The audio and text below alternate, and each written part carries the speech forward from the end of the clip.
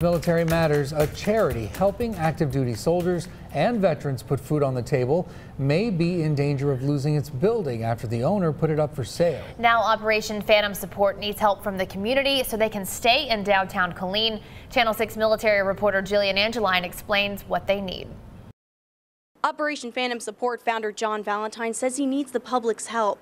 They are working directly with Extraco banks, but they have to raise about $50,000 by July in order to get a mortgage on the building.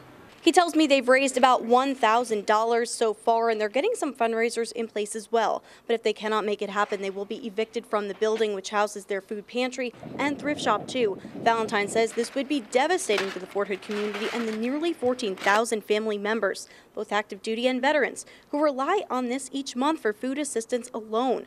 Valentine says they're open twice a week on Thursdays and Saturdays, and people start lining up before they even open. He says the goal is to help soldiers' families and give the soldier peace of mind that their family is taken care of while they're at work, training, or in combat. So that $300 you save, you can put towards the things you have to do to get your family a better situation later on that you don't need to use us because now you've made the implement, you've been able to pay the bills and get caught up or get, get ahead.